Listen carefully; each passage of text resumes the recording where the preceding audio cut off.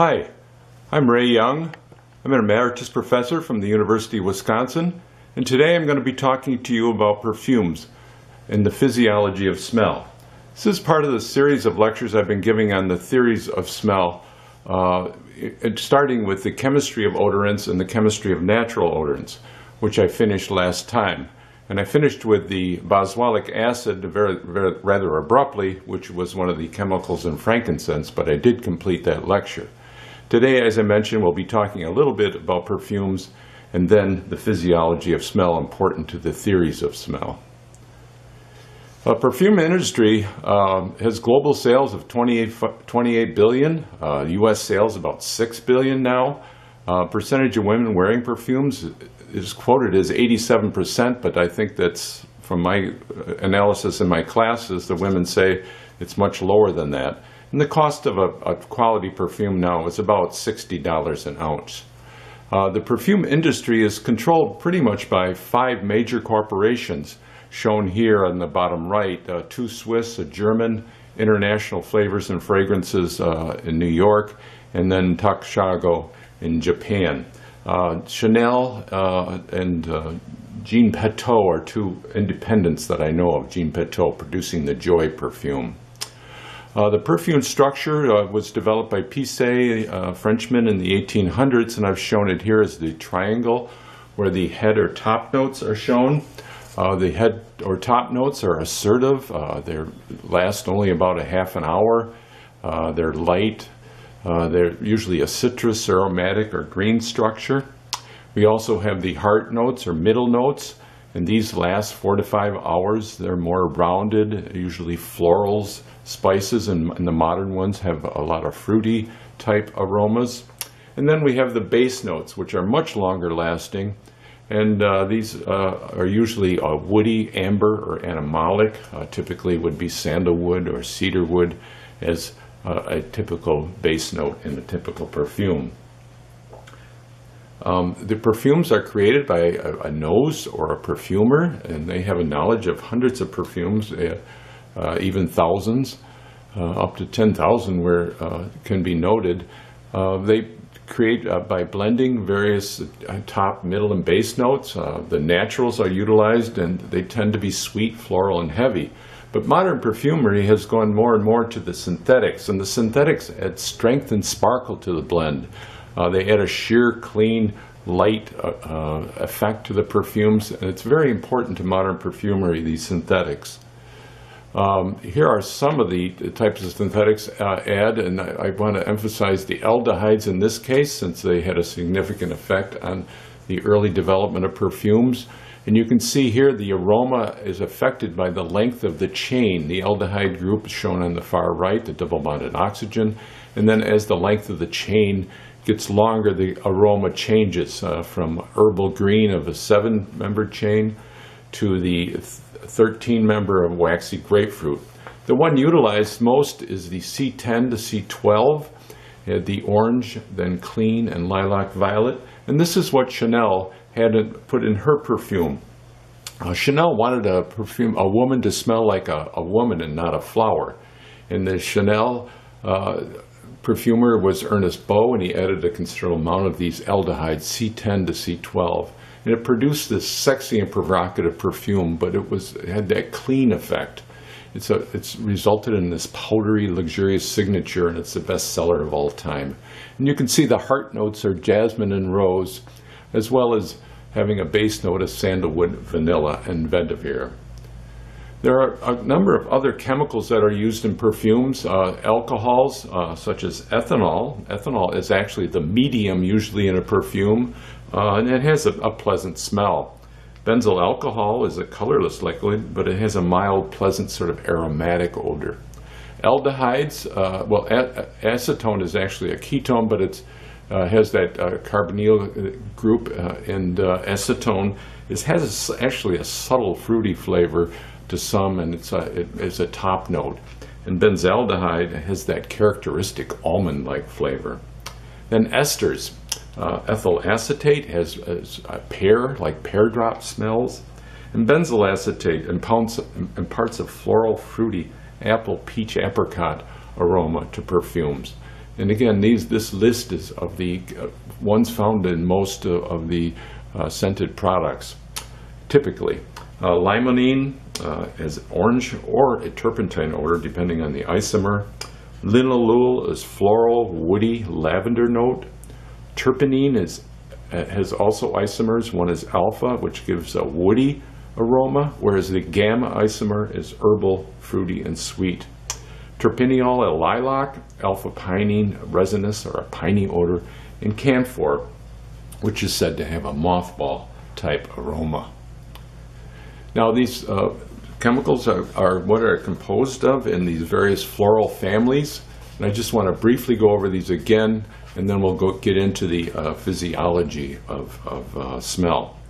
Uh, the, of course, the floral uh, family is the heady scent of florals, usually jasmine and rose, typically uh, Chanel number five, as I mentioned. Also, fracas from Robert Piguet is a floral, but in that case features tuberose in its heart note.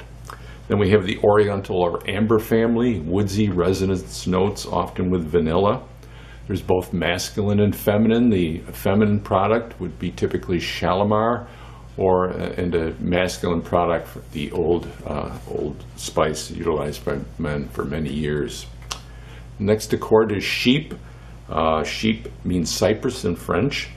It's named after the chypre perfume introduced by Francois Coty in 1921. And here, uh, the, the perfumes feature oak moss and patchouli, often with vetiver. Um, a typical perfume in this category would be Mitsouko. Then we have the fruity gourmand, which are a, more of a modern type of perfume uh, development, uh, featuring uh, fruits, black currants, mangoes, uh, peaches, and also caramel. And uh, a typical perfumes in this category would be uh, Prada Candy and Viva La Juicy. Then we have the aquatic, oceanic, or ozonic group.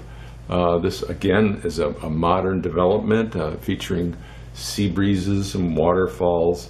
Um, and the a, a typical perfume in this category would be Cool Water, uh, developed by Davidoff, and he has cool water for both men and for women. Uh, then we have the Woody uh, Accord. Uh, featured here would be uh, the scents of sandalwood and cedar and uh, Burberry body is a, an example of this class. And finally, the leather class, which uh, oftentimes have that leather aroma, tobacco, smoke, very masculine, and Amen Pure Leather by, uh, by Thierry would be a typical perfume in this category. Okay, let's move on to the physiology of olfaction. And here we get into a whole different area uh, shown here is the olfactory region, which exists at the uh, top of the uh, nasal cavities. Uh, and you can see you can take in the aroma through your nose or through the back of the mouth as, mouth as you're tasting. You can see that area where it can move up into the olfactory region. This region is only about two and a half centimeters and it contains 50 million primary sensor receptor cells. Uh, this, these are cilia. Basically, they're, they're dramatized here, shown much larger, but I'll show it in the next slide. And this area is uh, only about 2.5 centimeters, uh, as I mentioned. So th th this is a more detailed example. You can see at the bottom, in that yellow area is the mucosa, and in that mucosa are these cilia. Uh, these cilia are whip-like extensions of about 100 microns, and they project uh, down out of the olfactory epithelium above uh, into this layer of mucus, which is 60 microns thick. Now, the uh, initial sensory perception goes through these cilia up into the olfactory receptor neurons, then onto the axons, and then moves on into the brain. So these cilia are the primary, the surface of the cilia are the primary place for molecular recognition and sensory transmission. Here's a, a more close-up view of the uh, this mucous membrane, this transversing membrane, and you can see that it's uh, it contains a seven-membered helical G-type protein in the center, which I'll talk about in a minute. But let's the structure of this mucous membrane is the green dots uh, form both the extracellular and intracellular uh, surfaces of the hydrophilic. And they're hydrophilic, uh, negatively charged phosphate groups, these green dots. And they have these long gray lipid-like tails, and this creates a very hydrophobic region. And these cholesterol molecules, noted in red, tend to break up the area a little bit. It gives it a more of a fluid motion, uh, flexibility, and these break up the van der Waals, forces between the molecules.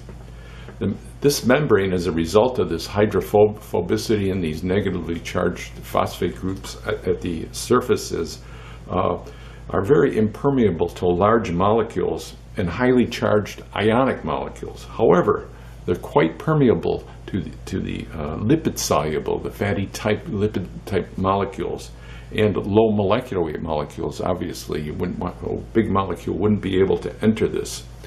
Now, shown as I mentioned in the center is this yellow transversing membrane, which is the helical olfactory G protein coupled receptor. Uh, it's also shown in more detail in the upper right-hand corner, which shows these these uh, these overlapping uh, helical arrangement of the protein. And this was discovered by Linda Buck and Richard Axel at the Columbia University and Harvard University. And for this discovery of this receptor protein, they won the Nobel Prize in 2004. And in their work, they subsequently determined that there are 347 of these human receptors with a sevenfold helical structure.